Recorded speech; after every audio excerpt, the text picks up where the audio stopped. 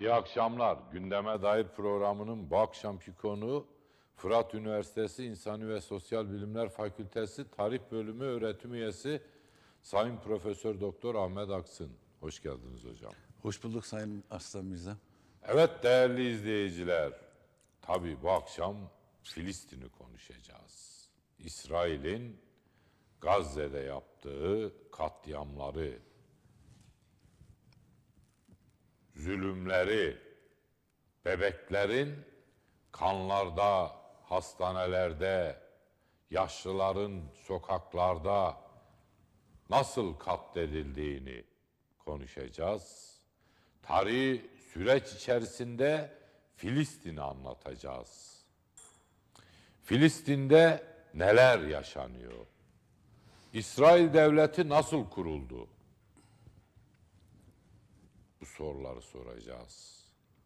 Yüzyılın vahşi Netanyahu'sunu konuşacağız. Kanamen özellikle Netanyahu, vampir Netanyahu, Amerika gemilerini konuşacağız. Amerika'yı konuşacağız. Biden'ın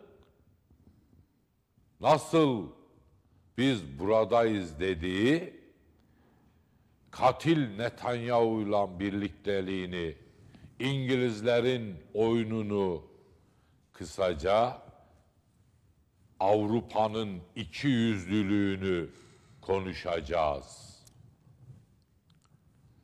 Bölgede yaşananları konuşacağız. Filistin, Filistin halkı. Bugün sizlerle birlikteyiz. Sizin acılarınızı paylaşacağız bu ekranlardan. Dilimiz döndükçe kalbimiz sizinle. Evet Sayın Hocam, tabii çok derin bir süreç. Filistin ve tarihi süreç içerisinde Filistin hocam. Özellikle tarihi süreç içerisinde bu bölge nedir hocam? İsrailler kimdir? Ne yapıyorlar? Evet. İyi akşamlar diliyorum izleyicilerimize. Tabii bir tek bizler değil, bütün dünya aslında şu anda bu dehşeti seyrediyor işin doğrusu. Üzülmemek e, elde değil. Ama işte duyduklarımız hep aynı. Şiddetle kınıyoruz, lanetliyoruz. Aynı kelimeler. Allah oradaki insanlara yardımcı olsun. Yani silahsız, savunmasız, sivil insanlar ellerinde hiçbir şekilde kendilerini savunacakları bir silahları yok. Gazze denen o bölgede sıkışıp kalmışlar. Aslında hapishane gibi bir yer. Orada 30 yaşına gelmiş insanlar Gazze'den başka hiçbir yeri görmemiş. O çocuklar hiçbir yere gidemiyor. Nasıl eğitim alıyorlar? Dünyayı nasıl takip ediyorlar? Aldıkları su, elektrik İsrail tarafından kısıtlı verilebiliyor. Hiçbir geçim kaynakları doğru dürüst yok. Dünyadan gelen yardımların dışında. Ama öte taraftan bakıyorsunuz dünyanın önemli silah üreticilerinden, önemli silah teknolojisine sahip ülkelerinden biri. Küçük bir ülke gibi görünüyor ama İsrail tankıyla, füzeleriyle, roketleriyle, ağır zırhlılarıyla Gazze sınırına dayanmış, içeri girmeyi bekliyor, emri bekliyorlar işte. İçeri girerlerse de Allah muhafaza daha fazla insan ölecek. Ya bütün dünya böyle seyrediyoruz yani. Evet, Üzülmemek elde değil ve aynen öyle hocam. Tabii bu tabloyu izlerken de bu gelişmeleri aklımıza şu da geliyor. Dünyada en fazla sürgüne maruz kalmış, en fazla zulme maruz kalmış topluluklardan biri de bu İsrailoğullar. Yani Babillerin zulmünü görmüşler, Asurların zulmünü görmüşler, Mısır'da Firavunların zulmünü görmüşler. Roma'nın zulmünü görmüşler, darmadağın olmuşlar, dünyanın her tarafına sürgün edilmişler. Gelmişler İkinci Dünya Savaşı'nda Hitler'in zulmünü görmüşler, soykırımını görmüşler. Şimdi kendine yapılanların misli misli fazlasını Bu suçsuz, günahsız insanlardan çıkarıyor sanki. Hocam bu Yahudileri fırına attı Hitler. Fırınlarda yaktı. Yani şimdi düşünebiliyor musun? Ya zulüm yaşamışsın sen. Vallahi herhalde Hitler'in günahlarının yarısı döküldü yani bu gidişle yani. Herkes Değil mi? rahmet yani okuyor şimdi yani. düşün. İşte e, bugün basında, medyada, dünya kamuoyunda insanlık alemine baktığınız zaman diyorlar Netanyahu Hitler'den de beter. E tabii canım yani, Yani ayan şu beyan an ortada tabii o, tabii. o bebeklerin kanları ile boğulacaksın Netanyahu. Yani Yani düşünebiliyor musunuz? Ee, Biden, Amerika, e, sen e, hiçbir zaman affedilmeyeceksin.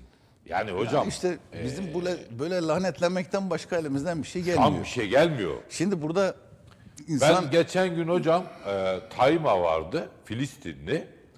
E, Tayma ile konuştum. E, işte Gazze'de akrabaları var. E, canlı yayına bağlayalım dedik Gazze'yi falan. Hocam dedi 5 dakikada bir yer değiştiriyorlar. evet Düşünebiliyor musunuz? İşte hastanedeydiler. Ee, tabii görüştüm ben bugün. Ee, hastanede hocam hastaneyi bombaladılar dedi. Hastaneyi. hastaneyi bombaladılar. Bir de yani uç, e, bi- bilinen en ağır roketle yani roket füzeyle vurdular. Roketle attılar. Bir uçaktan atılan bir bomba o yani. Evet. MK85 mi ne diyorlar? Mak 85. Yani e, yerde atıldığı yerde 13 metre derinliğinde bir çukur açan bir bomba. Yeraltı sığınıklar sığınağını yok edecek yani bir bomba. Ve öyle oldu. E 474 tabii ya yani o kadar ağır tahribat yaptığına göre çocuk Allah muhafaza yani yani kadın, yaşlı e, insanı yok ettiler bunlar. Alan devam ediyor bu zulüm. evet şu anda biz burada oturuyoruz Ve ama işte Biden gitti Netanyahu'nu yanında biz birlikteyiz, biz sizinle birlikteyiz. Ee, yaptığınız işler doğru dedi. Devam edin dedi. Ee, yani Amerika'da hocam işte Yahudiler var. Ee, mecliste oturmuşlar, protesto ediyorlar Amerikan meclisinde. Yani bunlar nasıl Yani şimdi burada- hocam? şu var. Hani bazen o haritayı da yayınlıyorlar. İşte dünyanın bu Orta Doğu, Kuzey Af- Afrika'nın kuzeyi, Asya'nın güney tarafları, işte İslam ülkeleri yeşil. Ortada bir tane kırmızı var, o da İsrail. Evet. Şimdi bu kadar İslam ülkesi var, Müslüman ülke var. Evet. Ama hiçbiri Amerika Birleşik Devletleri'nin gücünde değil. Yani bizim burada e, değerlendirmemiz gereken husus bu. İslam dünyası şu anki konumuyla Filistin'e yardım edecek durumda değil yani. Şimdi o uçak gemisi Gazze'dekiler için gelmedi yani. Olası bir saldırıda o saldırıyı hani İran yaparsa işte veya işte Suriye yaparsa ona mukabil karşılık versin diye geliyor. E bunu gören hiçbir İslam ülkesi de kılını kıpırdatamaz yani. Evet hocam. Kolay değil. Evet hocam bu Yahudiler kim hocam? Şimdi Bu Yahudiler- kim? Ya şimdi aslında üç tane kitabı kut- yani kutsal kitap olan din işte Musevilik, Hristiyanlık, Müslümanlık. Bunların hepsi biliyorsunuz Hazreti İbrahim'e dayanır. Hazreti İbrahim'in de Yakup diye bir oğlu var. O da peygamberdir. Hazreti Yakup, Yakup Aleyhisselam. Şimdi onun mesela bu gerek rivayetlerde işte veya efsanelerde anlatıldığı kadarıyla işte böyle gururlu, kibirli biri olduğu söyleniyor. Ondan sonra hatta Allah'ın bir meleğiyle, gönderdiği bir melekle güreştiği, dövüştüğü söyleniyor. Ondan sonra bu melekle bu kavgayı yaptıktan sonra da işte melek buna İsrail diye sesleniyor. İsrail demek de kavga eden, savaş eden manasında. Evet. Yani İsrail teriminin de buradan geldiği söyleniyor. Yani bir rivayet, efsane her neyse. Şimdi Yahudiler de yani İsrailoğullarının da kendi soylarını, kavimlerini Hazreti Yakup'a kadar götürüyorlar. Tabii ki daha sonraki dönemlerde Yakup'un da tabii e, Hazreti Yakup'un da 12 tane çocuğu var, oğlu var, bir kızı var. Bunlardan bir tanesi de e, Kenan biliyorsun işte o kardeşleri tarafından kıskanıldığı için kuyuya atılan. Daha sonra da işte e, Mısır'a götürüp köle olarak satılan. Daha sonra da aklıyla, zekasıyla işte Mısır Krallığı'nın yanına yerleşen önemli bir devlet görevine gelen bir kişi. Daha sonra bu işte Kenan dediğimiz bugünkü Filistin Hazreti bölgesi Yusuf. yani evet. Değil mi? Yani, E, evet. Pardon Kenan dedim ya. Ken- Evet, e, özür Hazreti dilerim. Yusuf. Hazreti Yusuf. evet. Pardon. Kenan Şimdi illeri. Yusuf- Kenan ili denilir. Yani Evet. bugün bizim o Filistin diye bi- bildiğimiz veya işte adlandırdığımız bölge Kenan ili diye bilinir. Evet. İşte o dö- o dönemde Bugünkü Filistin Kenan ili. Yani e, tabii, tabii, yani yani e, bütün teknik İsrail, bilimde Filistin- Oğuz Hanım, e, e, Filistin bölgesi veya bugünkü Tabii, tabii. İsrail yani biraz Kenan Lübnan'ın- ili diyelim. Ürdün'ü de Evet. katabiliriz. Ürdün'ün burada de bir, bir, kısmı burada yani bir Kenan ili Filistin. burada bir kıtlık olunca İsrail işte Yusuf bölgesi. Yusuf bunları Mısır'a çağırıyor. Evet. Büyük bir göç oluyor o zaman işte bu Kenan ilinden, Filistin bölgesinden Hocam Mısır'a. kıtlık mı oluyor o bölge? Orada o zaman işte bir kıtlık oluyor. Bu kıtlıktan dolayı bunlar Mısır'a Bu geliyorlar. Hazreti Yusuf'un Evet, tarihsel e, şeyini de Tabii, tabii. anlatıyorlar. Evet. İşte Hazreti Yusuf bunları Mısır'a çağırıyor. Orada kıtlık olunca zor durumdalar diye. Uzun bir müddet Mısır'da kalıyorlar. Fakat daha sonra Mısır'da yönetim Firavun hanedanına geçince bunlar köleleştiriliyor Mısır şey bu İsrailoğulları. İşte daha sonra bu uzun bir süreç işte Hazreti Musa ortaya çıkıyor. Ondan sonra bu köle olarak çalıştırılan bu bütün bu İsrailoğullarını, Yahudi kavimlerini e, kendileri için kutsal sayılan tekrar o Kenan iline, bu işte Filistin coğrafyasına götürmeye karar veriyor. İşte o Kızıldeniz'i geçmesi falan. Evet. E, hani Fuzuli de Hocam ya. e, orada mesela Kızıldeniz'i geçerken işte Musa vuruyor. Evet. Nil. Şimdi onu diyecektim. Yani, evet. Fuzuli'nin bir dizesi var. Asay mucizi gör kim iki bölmüş şu deryayı diye. Evet. Bunlar da anlatılır tabii. Hocam Fakat nasıl- tabii o da yani biraz uzun- orada Musa vuruyor asayı, Kızıldeniz Ya ikiye öyle yani. söyleniyor evet. Yani öyle söyleniyor hocam. Fakat bu Siz tabii orada tarihçiler ne olaylar- diyorsunuz hocam ya bu? Oraya yani. Ya ne diyelim işte anlatılıyor. Değil mi? Yani. Yani. Şimdi Evet. daha Tarihte sonra bir sürü şey olay oluyor. hocam? Hazreti Musa Tur Dağı'na çıkarken işte orada tekrar bu Yahudi kavimleri Ama sapkınlığa düşüyor. yani, E, tabii mi? tabii. Yani o, o vurunca emri aldığı sırada e tabii peygamberlere yani. mahsustur. Tabii Değil tabii mi? mucize. O Şimdi, emri e, aldığı zaman hocam şey geliyor galiba. İşte e, Hazreti Musa'nın peşinde mi? O E tabii bütün Yahudiler işte şeye gö- Yahudiler dediğimiz işte İsrailoğulları tekrar eski ülkelerine, topraklarına geri dön- dönüyorlar. Yani Hazreti Musa onlara öncülük ediyor. Evet. Bu Tur Dağı'na çıktıp da o emri aldığı zaman süreçte bunlar tekrar işte sapkınlığa düşüyorlar. Altınları eritip bir buzağa tapmaya başlıyorlar. Allahu Teala bunları tekrar cezalandırıyor. 40 se- 40 yıl boyunca işte e, o bölgeye girmeyecekler, çölde gezecekler falan gibi.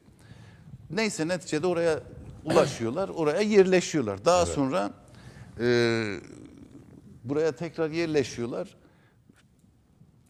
Yine oradaki tabi yerleşik Arap kavimleri de var. O dönemde işte bu Filistinlerin ataları. Orada birlikte yine yaşamaya devam ediyorlar. Bu Kudüs tabi o zaman e, oradaki süreci de söylememiz lazım. E, Kur'an-ı Kerim'de de işte zaten peygamber olarak geçen Hazreti Süleyman var biliyorsunuz. Evet. Davut peygamberin de çocuğu. Ta Davut peygambere mesela Yahut, e, Yahudiler, Museviler e, kutsal kitaplarında da peygamber demezler yani kral derler ona. Evet. Kral mesela o oraya bir tapınak yapmaya karar verir Kudüs'e. Fakat Allahu Teala ona bu senin şeyinde değil. Yani sen bunu yapmayacaksın. Senin oğlun bunu yapacaktır. Daha sonra onun oğlu Hazreti Süleyman Davut'un ölümünden sonra o büyük bugünkü işte ağlama duvarının olduğu mekan Süleyman Mabedi, Mabedi. diye adlandırılan mabedi inşa ettirir. sadece duvar kalmış hocam. Yani. Değil mi Şimdi yani? evet o süreci de şey Evet. yapalım. İşte Hazreti Süleyman oraya büyük bir ibadethane yapar, tapınak yapar. Evet. Süleyman Mabedi diye geçer. Zaten e, Kudüs'ün kutsiyeti de oradan başlar. Evet. Yani mesela Ee, Müslümanların Kudüs'ün e, kutsiyeti, Süleyman Mabedi'nin yapılışı. Oğuz Hanım teknik birimde sen o altyazıda onları da şey yaparsan. Evet. Şimdi bu arada şeyi de söyleyelim. Yani şimdi e, Hazreti Peygamber'e peygamberlik geldikten sonra Evet. namaz kılarken e, kıble olarak mesela Kudüs'e yönelir. Şimdi neden yönelir? Çünkü en eski e, şey ibadet e, yeri orasıdır. Hatta hicretten bir buçuk yıl kadar, 17 ay kadar süreyle oraya da kıbleye dönülür. Evet. Birinci kutsiyeti budur İslam dünyası açısından. Müslümanların ilk e, Kıblesidir. Kıblesi. Evet. Evet, Kudüs. Şimdi Ee, tabii bunun başka şeyler gerekçeleri Evet, de var. Yani Kur'an-ı Kerim'de Aksa. o daha sonra yapılacak. Hazreti Evet. Peygamber'in vefatından bir 70-80 sene sonra. Değil yani? Mescid-i Aksa, Kubbetüs Sahra. Evet. Süleyman Tapınağı'nın hemen biraz üstüne yapılacak. Tabii. Tabii kısa yani ağlama mesafe. duvarından gittiğiniz zaman üstünde camini camiyi görüyorsunuz zaten üst tarafında. Yani minarelerden ezan sesi geliyor. Evet. Şimdi bir tek onun için de kutsal değil İslam açısından. Mesela bu kadar peygamberin de doğduğu, Hocam büyüdüğü, e, yaşadığı yerler. Müslümanların ilk kıblesi Kudüs. Evet. Yani Mescid-i Aksa mı diyelim? Yoksa? Ya şimdi Mescid-i Aksa denince gözünüzdeki o cami canlanır. Evet. Yani Ama Mescid-i. Aksa e, aslında o Kudüs'tür yani.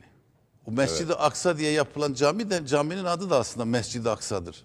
Evet. He, o yüzden Evet, yani Mescid-i yani- Aksa'dan kastedilen de Kudüs'tür zaten. Kudüs Ama bazı anlamında. İslam tarihçileri de mesela Mescid-i Aksa diye bir caminin Medine'nin biraz daha dışında bir yer olduğunu söylüyor ama ben onu da tam bilmiyorum. Yani bu konuda bir ihtilaf var, Var, da Var. çok güçlü Ama, bir şey değil e, yani. Genellikle e, Evet Kudüs olarak. Kudüs olarak. bilinir. Diğer taraftan da dediğim gibi birçok peygamberin doğup büyüdüğü, yaşadığı bir bölgedir yani Kudüs. O yüzden Evet. de kutsaldır. Evet. Şimdi daha sonra İsrailoğulları bu bölgeye yerleşiyor. Fakat e, milattan önce e, se- 772 yılında Asur kralı bu bölgeye bir şey yapıyor, akın yapıyor Evet. ve bu bölgeyi ele geçiriyor. Yani bu Filistin bölgesi. Evet. Yahudileri de tabi Yahudiler de orada yaşıyor. Fakat Yahudiler de orada bu hakimiyete isyan ediyorlar. İsyan edince o da bu Yahudilerin büyük bir kısmını o da sürgüne gönderiyor. Asurlar da sürgün. Asurlular. Asur kralı Sargan evet. yanlış bilmiyorsam. Ve bir kısmını büyük bir kısmını sürgüne gönderiyor. Fakat bu sürgün hayatı bir 40-50 yıl sürüyor. Bu sefer Babiller ortaya çıkıyor. Babiller Asurları da Asurları yenip bu bölgeyi ele geçiriyorlar. Babiller bugünkü kimler hocam? Yani Ya Babil- onları tabii şimdi bu çok net Yani şeyler yok. Tabii tabii. Babiller. Yani neticede bugün o coğrafyada Tabii. yaşayan insanların atalarıdır ama Evet. hangilerinin onu bilmek Hangileri çok zor. Tabii tabii değil o yani. çok Evet, zor. Tarihte. Ya o mümkün değil yani. Evet. Babiller bu sefer bölgeye hakim oluyor. Ee, Babil ne, ne, Nebukadnezar Evet. e, İslam kaynaklarında da Bühtün Nasır diye geçiyor Babil kralı. Bölgeyi yakıp yıkıyor. O Süleyman Mabedi'ni de dümdüz ediyor zaten.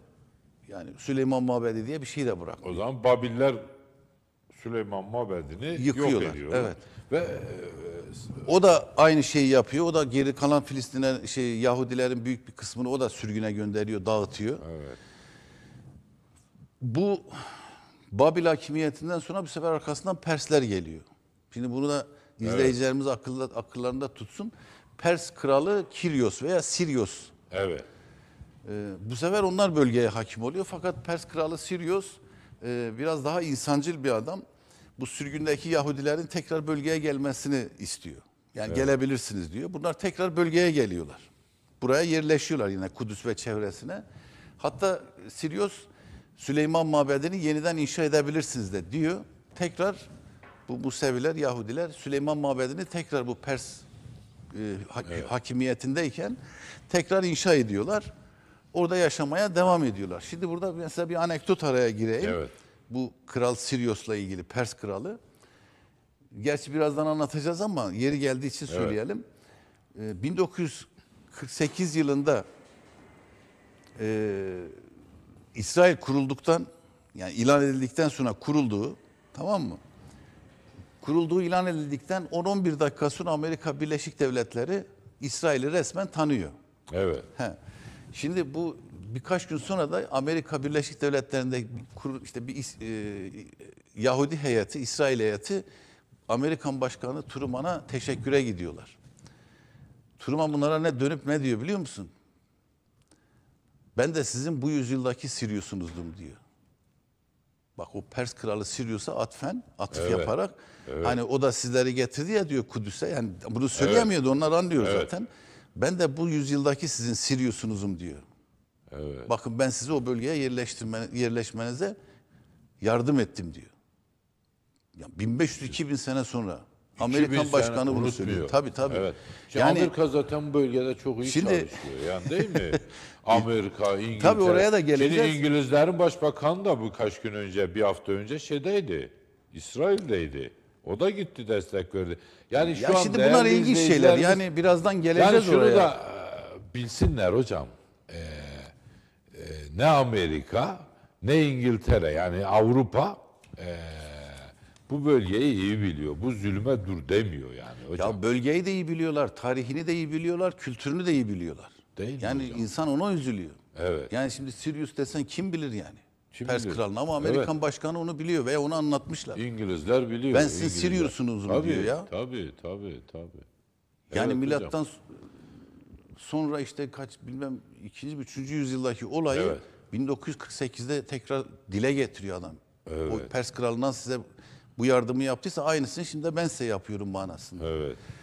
Daha sonra milattan sonra 60 60 63 yılında bu sefer Roma hakimiyeti bölgeye geliyor. Romalılar tekrar tekrar diyeceğim. Özür dilerim. Evet. Roma hakimiyeti başlıyor. Romalılar bu bölgeyi de ele geçiriyorlar. Evet. Ve Romalılar bölgeye ele geçirdikten sonra yine orada bir takım isyanlar devam edince Roma hakimiyetine karşı Romalılar aynen Babillerin, Asurların yaptığını bu sefer de onlar yapıyor. Katliam yapıyorlar ve e, bunları tekrar sürgüne. Ama tabii Babiller, Asurlar yine Orta Doğu içerisinde bunları sürgün ederken Romalılar bunları ta Avrupa'ya sürüyor. Evet. Ta Avrupa'ya. Ya bir kısmı bugünkü Rusya'ya gidiyor, bir kısmı bugünkü Orta Avrupa'ya, İngiltere'ye, Fransa'ya, Portekiz'e. Dünyaya yayılıyorlar. Dünyanın her tarafına yay... Ya dünya derken bilinen dünya o zaman Tabii, yani. tabii. Amerika bilinmiyor Evet. yani. Hindistan da pek bilinmiyor. Evet. Bunları Avrupa'ya kadar sürgün ediyor. Evet. İşte bu İkinci Dünya Savaşı'nda Hitler'in zulmüne, soykırımına maruz kalan Yahudiler de ta o Roma sürgününde gidenler aslında. Evet. İşte bunlar daha sonra iki kısma ayrılacak. Eşkinazlar, seferatlar diye. Mesela bu Katolik dünyasından gelenlere seferat denilecek. O Osmanlı 1492'de İspanya'dan İspanya'dan getirdi. gelenler mesela seferatlardır. Evet. Bir de bu Almanya tarafından Hocam, gelenler de eşkinazlar. var. Osmanlı mesela Yahudilere işte Fatih diyor kucak açtı aldılar İstanbul'a getirdiler falan o Yahudileri. Ya bir tek Fatih getirmiyor ki. Ya 19. yüzyılda da geliyorlar bunlar. Osmanlı dönemi. E tabi Rus zulmünden kaçınca, Rus Çarlığı'nın zulmünden bu sefer de Ruslar katlediyor. Ya bu Yahudilere soykırım uygulamayan bir tek biziz. Değil mi? Türk milleti. Tabi tabi. Net yani. Evet. Ha bizim bir problemimiz olmamış o ayrı yani Yahudilerden. Yani mesela Osmanlı ta- tabiatında olup Evet. Osmanlı şehirlerinde yaşayan Yahudilerin de bir problemi yok. Devlet içinde bir problemi yok. Onlar için de bir problemi yok. Mesela Ermeniler isyan etmiş, Sırplar isyan etmiş. Yahudiler böyle bir şey yapmamış mesela Osmanlı'ya. Onlar katılmışlar yani Osmanlı'la birlikte yaşamışlar, birlikte olmuşlar, ticaret Ya yapmışlar. sayıca fazla değiller. Yani mesela bir Ermeniler kadar bir ne bileyim Sırplar, Bulgarlar kadar değiller. Rumlar kadar zaten. Evet. Sayıca azlar yani Osmanlı şeyinde de. Ama isyan yok yani Yok tarihte. yok hayır. Değil mi? Yani Sanatkar, iş Sabatay insanı. Sevi döneminde bir küçük çaplı böyle bir şeyler Evet. oluyor ama o da çok büyümüyor zaten. Yani Osmanlı'da da bir sıkıntı görülmüyor. Evet. Şimdi böyle kronolojik olarak gidersek daha iyi olacak. Evet. Böyle aralarda şey Evet. yapıyoruz. Ee, şimdi Roma hakimiyeti dediğimiz gibi bu yine Yahudilerin sürgünüyle sonuçlandı. E tabi daha sonra bölgede dalgalanmalar başladı. Fakat diğer taraftan Roma tabi bu 63'te bölgeye geldiği zaman Roma e, İmparatorluğu pagan inanç yönünden. Yani Evet. henüz Hristiyan falan olmamışlar. Fakat 300'lü yılların başından itibaren bunlar Hristiyanlaşmaya başlayınca, Roma Hristiyanlaşmaya başlayınca bu sefer Yahudilere ikinci bir zulüm başlıyor. Çünkü bunlar Hristiyan olunca İsa Efendimiz'i, peygamberimizi siz öldürmüşsünüz diye Evet. bu sefer Yahudilere karşı bir Şimdi tepki hocam, başlıyor. Yahudiler dedin de Filistin mesela Kudüs bölgesinin e, Hristiyanlar açısından önemine. Yani üç kutsal din dedik ki hocam o bölgede. Yani arada o zaman ona girip Evet oraya bir şey Hazreti yapalım. İsa, Hazreti İsa o evet bölgede, Oğuz Hanım e, bunu da e, Hazreti İsa bu bölgede doğmuş zaten. evet Yani- Kudüs'te. Tabii. Hazreti yani onun annesi Hazreti Meryem de Evet orada. Oğuz Hanım onu şey yaparsa evet Hazreti Meryem de orada zaten yaşıyor. evet Hazreti İsa da onun çocuğu. Ee, orada yaşıyor ve orada ölüyor. evet. Yani hani bize, Çarmıha bizim inancımıza göre mi geldi? Yani e, tabii. evet Yani şimdi o zaman Roma hakimiyeti var. Bakın. evet Şimdi Roma hakimiyetinde ama oradaki Roma valisine İsa'yı şikayet edip gammazlayan, ondan sonra ona iftira atıp suçlu gösteren ve onun çarmıha gerilmesine yani bizim inancımıza göre İsa Aleyhisselam göğe çekildi Göğe ama yükseldi evet. yani onun çarmıha ge- gerilip de ölümüne sebep olan da Yahudilerdir. Evet. Bütün tafsilatıyla biliniyor. Yani sebep olan onlardır. Çünkü gidip de işte Roma valisine o paganlar hani onlar. Evet. Onlar henüz Hristiyan değiller. Musevi de değiller Romalılar. İşte mesela diyor ki bu diyor ki işte e, Tanrı'nın hakkı Tanrı'ya e, Sezar'ın hakkı, kralın hakkı krala deyip de işte ikilik yaratıyor falan diyor. Bir sürü böyle iftira atıyorlar. Evet. Ve ölümüne Hristiyan alemi çok iyi biliyor ki sonradan ölümüne kesinlikle bu Yahudiler sebep oldu. Şimdi ondan Evet. dolayı Yahudilere de bir nefret var. Diğer taraftan da işte İsa'nın hem orada doğup büyümesi, peygamberliğinin orada gelmesi, faaliyetlerini orada yürütmesi ve orada gömülmesi ki orada Kamame Kilisesi vardır. Yani Kıyamet Kilisesi Meryem Hazreti Meryem'in mezarı da oradadır. Evet. E Şimdi o yönden de kutsaldır. Yani Evet. aslında o bölgede Hristiyanlar için bir haç yeridir aslında. Mesela kafileler halinde Avrupa'dan, Rusya'dan kafileler e, mesela o Kudüs'e gelip hacı olurlar. O kiliseyi ziyaret ederler. O kadar önemlidir ki oradaki mesela Ortodokslar, Katolikler temizliğini sen yapacaksın, ben yapacağım kavgasına girip birbirlerini öldürürler yani. Ve Osmanlı şeyinden sonra, hakimiyetinden sonra Osmanlı Devleti mesela Kamame Kilisesi'nin anahtarını iki tane Müslüman aileye teslim eder. O onlar kilisenin temizliğini, hizmetini yaparlar, kapısını açarlar, kilitlerler veya kapatırlar ve ondan sonra bir sulh, sükun olur yani o kilisenin hizmet işleriyle ilgili. Bu kilisenin anahtarını da şey söylüyorlar işte e, diyorlar İslam halifesi Ömer gelsin ki ben ona teslim edeyim. Şimdi onlar rivayet. Değil mi rivayet? Şimdi yani, hani orada kaldık Evet. zaten. Bu Roma büyük bir kısmını bunların sürgün ediyor. İşte ondan sonra bölgede Yahudi nüfusu yine azalıyor. evet. Daha sonra alt- e, 638 yılında yani hicretten bir 10-12 yıl sonra e, 622, 632 16 sene falan işte. 15-16 sene sonra Hazreti Ömer'in halifeliği sırası döneminde Kudüs İslam orduları tarafından fethediliyor. Evet. Ve Hazreti Ömer, bakın hani Hazreti Ömer'in adaletini biliyoruz değil mi? ne Evet, kadar adil tabii. olduğunu. Evet. Ve Hazreti Ömer bu sürgün edilen Yahudilerin bölgeye tekrar gelmesine izin veriyor. Rahatça diyor gelin burada yaşayın, ibadetinizi de yapabilirsiniz. Sizlere hiç dokunulmayacak diyor. Bir kısmı geliyorlar, gelebilenler. Ama çok bir nüfus gelmiyor yani Yahudi nüfus. Artık yerleşmişler Avrupa'ya. Şimdi böylelikle bu- burada İslam hakimiyeti dönemi başlıyor. Burada da yine bir sıkıntı yok. Fakat öte taraftan Avrupa'daki Yahudiler yani orada sürgündeler ve e, şeyler yani orada normal bir in- insan muamelesi, vatandaş muamelesi de görmüyor. İkinci sınıf insan muamelesi görüyorlar yıllarca. Evet. Ama orada tabii Hristiyanlık, o günkü Hristiyanlık inancında, anlayışında mesela bu para işleriyle uğraşmak, sarraflık yapmak, tefecilik yapmak gibi işler böyle adi işler diye görünür. O günkü Hristiyan inancı, inancında. O yüzden bu Yahudiler, sürgündeki bu Yahudiler uzun bir müddet bu işlerle uğraşıyorlar. Ha ikinci sınıf vatandaş muamelesi görüyorlar. Hatta bunların kendi gettoları oluşuyor yani. Kendi mahallelerinde yaşıyorlar. Yani öyle Hristiyanların yaşadığı yerlerde, mahallelerde oturamıyorlar, yaşayamıyorlar. Yani bu İspanya'da da böyle, Fransa'da da böyle, Orta Avrupa'da da böyle. Yani rahat değiller orada.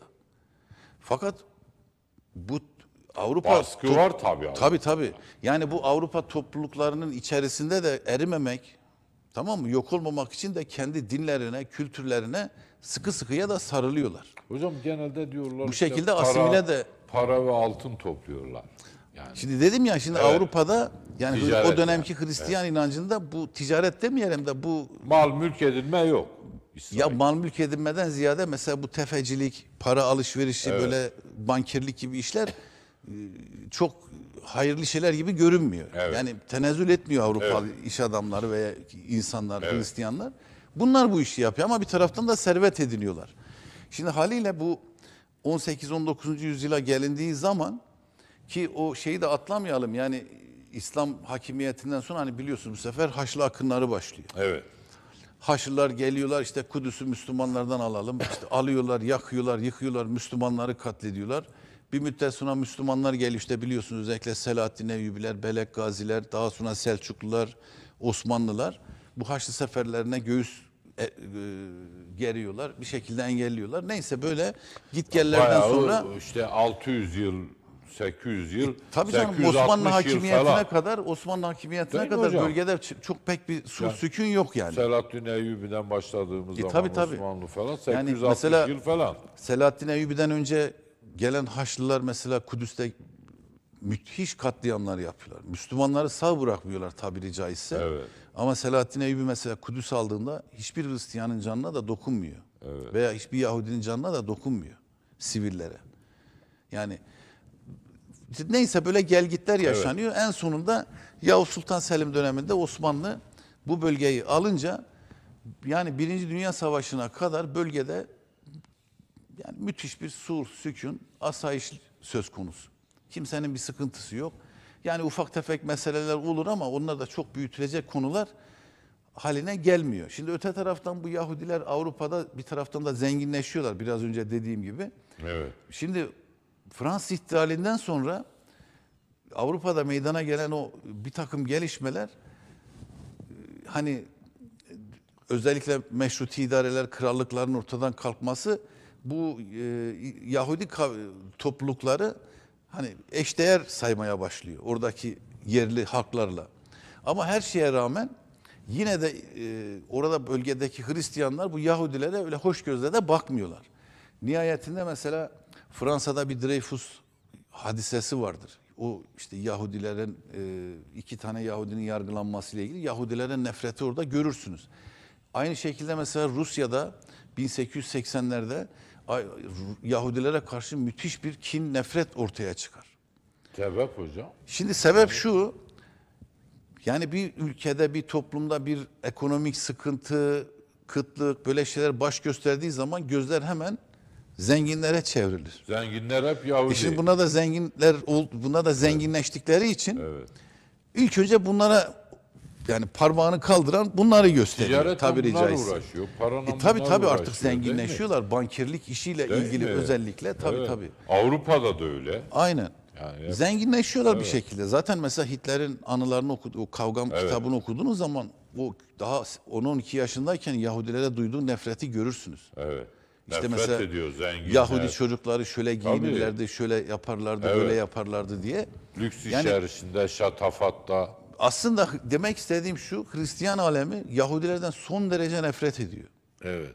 Yani E bugün Hristiyanlar daha öncesinde ölüyor hocam. İsa'yı Yani öldürdünüz diye şimdi- nefret ediyorlar. Daha sonra da kendi ülkelerinde zenginleştikleri için. Şimdi yani İsa'yı işte öldüren, şikayet eden eee, işte Yahudiler.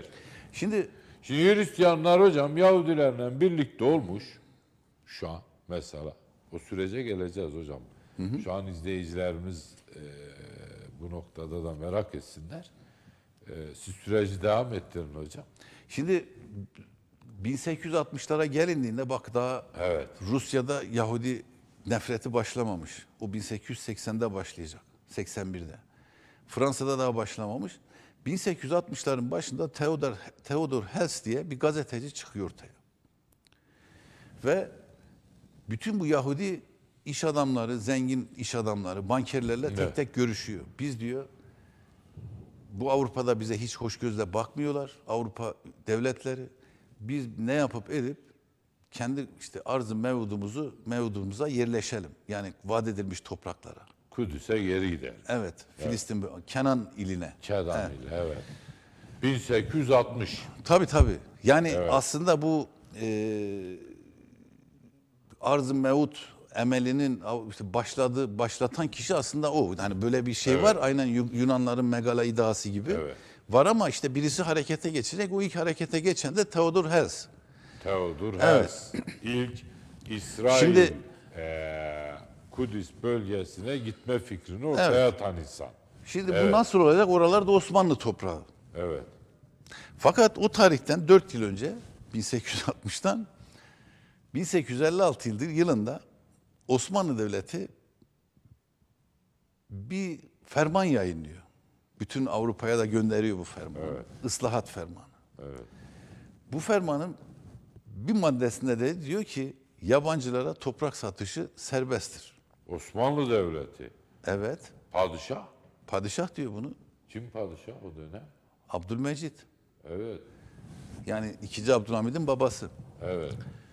mal mülk satışı serbesttir diyor. Şimdi Theodor Hess bunu görmedi mi yani? Değil mi? Yani. Neticede adam gazeteci, yani aklı başına bir adam. Tabii, tabii. Şimdi araştırıyor e. Avrupa'nın da en zengin tefecisi, bankeri, iş adamı Yahudiler. Tabii. E, bunlarla bir hemen bir konsorsiyum oluşturuyor. İnansa böyle bir şey var, böyle bir imkan değil mi? Nereye gidebiliriz? Osmanlı bir şeyler yapabilelim diyor. Tabii. Gidip satın Şimdi alabiliriz. 1852 yılındaki Kırım Harbi'nde de Osmanlı Devleti'nin maliyesi tam takır kuru bakır haline geliyor. Evet. O tarihlerde 7 yıl Evet sürecek. Oğuz Hanım e, bak burada çok önemli bir konu var. Onu altyazıda verirsek. İkinci Abdülmecit, İkinci değil Abdülmecit. Abdülmecit pardon Abdülhamit'in Yani toprak satışı serbest hale geliyor. evet Abdülmecit döneminde Osmanlı'da toprak satışı Serbestleşti. serbestleşiyor. Yabancıya. Yabancıya. Şimdi burada Şimdi ne yapacak bunlar? evet İlk etapta akla, akla ne geliyorsa işte o bu bölgelerden bir şeyler alabilir miyiz diye. evet Tabii buradan bundan yaklaşık bir 10-15 yıl sonra işte bu özellikle Rusya'da çok büyük bir Yahudilere karşı kin nefret başlıyor. Ve o dönemde gemiler dolusu insan İstanbul limanına gelmeye başlıyor. evet Şimdi o zaman da padişah 2. Abdülhamit. Yani tahta geçeli bir 6-7 sene olmuş. Şimdi Abdülhamit diyor ki tamam diyor ben sizi kabul ederim ama diyor Filistin'e gidemezsiniz. Şimdi Osmanlı da uyanık yani tabii ne olduğunu biliyor herhalde. Tabii. ama İstanbul şeyde Yani değil. Satma yok yani öyle bir şey yok. Kudüs'te değil yani Tabii Filistin. o Kudüs'e yerleşemezsiniz diyor. Ha, o Yani. dönem oraların isimlerini evet. Aa, Aydın'a gidin, İzmir'e gidin, Selanik'e gidin bir şey yaparsın ama burası yok diyor. Evet. Bunlar zaten can korkusundan gelmişler. Yani pazarlık edecek halleri yok. Şimdi Osmanlı yerleştirebilecek- döneminde yabancılara toprak satışı serbestleştirildi. 1856. 1856 yılında. Ee, Şimdi Ama bunlar e, Abdülmecit tabi satmıyor bu bölgeleri. hayır hayır satış yok öyle bir şey. Satış yok Ama o dönem. Şimdi Şimdi daha gelelim sonra Abdülhamit dönemine. şimdi daha sonra mesela bu Batanalı'da birçok toprak satılacak İngiliz şirketlerine falan Evet. el değiştiriyor. O İngiliz şirketleri geliyorlar. Bir sürü şey oluyor. Yatırım yapıyorlar. Toprak alıyorlar yani İngilizler falan, Fransız şirketler. Ama Yahudilere bir satış yok henüz. Henüz yok. Ya ama şöyle Yahudiler İstanbul'a geldi farklı yerlerde satış alıyorlar mı? Tarlalar, bahçeler, bağ yerler, arsalar. onları belli Büyük. bir standardı var. Onu öyle istediğin kadar da alamazsın. Evet. Bir standart getiriyorlar ama öyle kontrol edilebilecek şekilde değil. Onu da anlatırız şimdi. Evet. Netice itibariyle bu bir şey var, bir söylenti var. Onu da burada doğru Evet. olmadığını Hocam belirtelim. süremiz bitti. 5 dakika var E hocam. Ben ne yapayım? evet süre yani tarih. Şimdi o yanlışı da düzeltelim. İşte Evet. Theodor Hess geliyor, 2. Abdülhamid'e diyor işte bu toprakları bize verin. Biz de sizin dış borcunuzu sileyim. Böyle bir şey yok. Bu külliyen yalan. Yalan bir de Abdülhamit diyorlar Hayır. işte siktir etmiş Hiç demiş kimse ya bırak değil kardeşim. Theodor Hess yani İngiltere kralı bile bir Osmanlı padişahına böyle bir pazarlık teklifi sunamaz. Böyle bir Kelle şey yok. giderdi değil mi? Ya kelle gitmese de terbiyesizliktir yani öyle. Tabii. Bunu Osmanlı'ya hakarettir bu. Yani kalkıp da padişahın karşısında hadi bu toprakları ver biz de sen öyle bir şey yok Tabii. yani. Şimdi Hocam Osmanlı toprak satmış mı? ya Osmanlı satmaz niye satsın ama şimdi senin Filistin'de 50 dönüm arazin var. Sen satıyorsan ona bir şey yapamazsın. Ama ona da engel getiriyor mesela padişah. Şahıslar da getiriyor. Ona da engel getiriyor fakat bu sefer ne Yahudi'ye yapıyor? satamazsın Kudüs'te. Fakat şimdi orada yerleşik Yahudiler de var Kudüs civarında. Evet. Ya, ya Osmanlı vatandaşı yani. Şimdi o gidip satın alıyor senin malını. Şimdi bunu nasıl engelleyeceksin? Evet. Mesele burada o zaman. E yani Şimdi orada diyorlar ki hocam Şimdi sen- bak şimdi şöyle hocam. diyeyim ben Şimdi sana. bu toprak satışını bir şey yapalım, şimdi netleştirelim. bak diyelim ki sen Şimdi Kudüs'te hocam, ben şöyle örnekle şöyle, vereyim. şöyle hocam e, soru cevap şeklinde sorayım ki diyorlar ki Filistin halkı Araplar o bölgede topraklarını sattılar. Bugün İsrail devleti öyle kuruldu. Hayır öyle değil. Öyle değil. Evet bakın değerli Ya ama şimdi bakın. nasıl olmuş? Evet. Şimdi Bu Osmanlı önemli. Devleti'nde Ee, Oğuz Hanım, e, Filistin halkı topraklarını satmamış. Öyle değil diyor Ahmet Hocam. ama şimdi bakın satılan nasıl satılır? Onun bir de bir yolu var. Evet. Şimdi bugün o Gazze'de bu eziyeti, bu katliamı yaşayan insanlar aslında o zamanki gariban köylüler. Doğru düz arazisi olmayan insanların torunları. Şimdi o zaman da aynen bizim Anadolu'da, Trakya'da, Balkanlarda da var. Toprak ağları var ya. Evet. Adamın iki köyü var, üç köyü var. Adam sattı mı iki köyü, üç köyü satıyor. Üzerindeki köylü de zaten o adamın ırgatı, yarıcısı, marabası. Ondan beraber. E şimdi sat- sattığı zaman bu adam yani yerli bir ahaliden muvazalı bir satış tamam mı? Evet. O üzerinde yaşayan adama da diyor ki artık benim size ihtiyacım kalmadı ben başka bir iş yapacağım. O köylüleri oradan gönderiyor. Avrupa'dan gelen Yahudi mültecileri oraya yerleştiriyor. Bakın. Şimdi, şimdi adam tapuya bakıyor. Kendi vatandaşı Filistinli bir toprak sahibinden gitmiş mal almış yani. Kağıt üstünde buna itiraz artı buna itiraz edemiyorsun. Bir, bir de izleyicilerimize onu da söyleyelim. İkincisi de bölgedeki yöneticiler müthiş rüşvet yiyorlar. Evet. Yani valisi, mutasarrıfı, tapu müdürleri rüşvet yiyorlar yani. Göz yumuyorlar bir tip.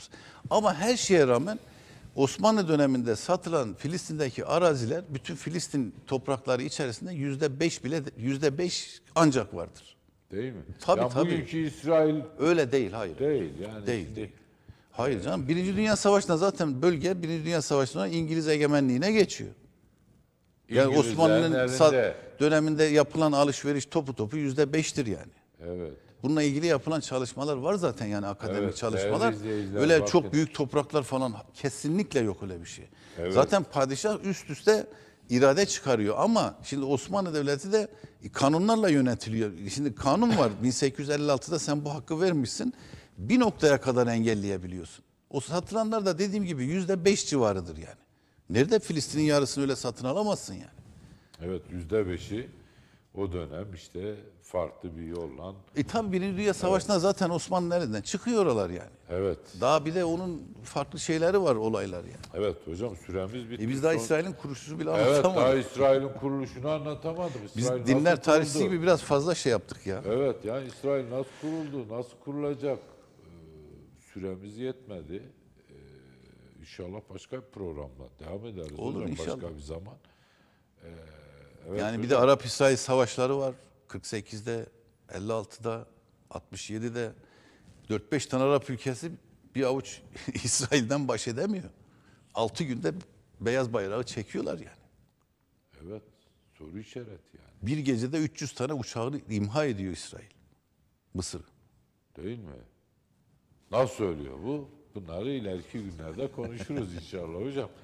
Evet hocam son cümlelerinizi de alalım. Ya vallahi son cümlemiz ne olsun? Yani Allah bu insanların yardımcısı olsun. Yani bilmiyorum. Bu İsrail'in de Allah bin türlü cezasını versin. Beddua etmekten başka bir şey elimizden gelmiyor. Bir de şuna üzülüyor insan. Yani şu İslam dünyasının haline bakın ya. Türkiye'nin dışında böyle ayağı yere basan, keşke biz biraz daha güçlü olaydık yani. Yani yok ne Afganistan'ı, ne Pakistan'ı, ne İran'ı bakıyorsunuz hallerine. Yani bizim halimize bin şükür diyorsunuz yani. Binlerce şükür. Ama yok bizim de gücümüz bir noktaya kadar yani. evet Bunu diplomasiyle çözdük çözdük başka da olmaz. Öyle yok ordu Gazze'ye mazeye nasıl gideceksin? Nasıl, ne yapacaksın yani? evet hocam. Bizim başımızda bin türlü zaten gayle var. Halim yani Bizim güneyimizdeki problemimiz belli, Kafkaslardaki problemimiz belli. Evet hocam. Çok teşekkür ederim. Bir şey değil. İyi akşamlar diliyorum izleyiciler. Evet değerli izleyiciler, gündeme dair programının bu akşamki konu İ- Fırat Üniversitesi İnsani ve Sosyal Bilimler Fakültesi Tarih Bölümü Başkanı Profesör Doktor Sayın Ahmet Aksın'dı. Ben kendilerine teşekkür ediyorum. Tabii tarihi süreç içerisinde Filistin konusunu, İsrail'in oluşumunu da İsrail'in devlet oluşunu, Arap savaşlarını, işte Osmanlı'nın son dönemlerini falan konuştuk. Toprak satışına ilgili konuları gündeme taşıdık. Tabii eee, şu an İsrail, Amerika, İngiltere ve Avrupa ile birlikte e, Filistin halkına, Gazze'ye, e, çocuklara, bebeklere, yaşlı insanlara, kadınlara zulüm yapıyor. E, hak haklının değil, hak güçlünündür diyor. E, haydut devlet haydutla beraber haydutlar çetesi birlikte. Ee, Tabi bunların zalimin zulmü varsa mazlumunda Allah'ı var. Allah yardımcıları olsun diyorum. Ben yayında ve yapımda emeği geçen tüm ekip arkadaşlarım adına herkese hayırlı akşamlar diliyorum. Tam bağımsız Filistin devleti için. İyi akşamlar.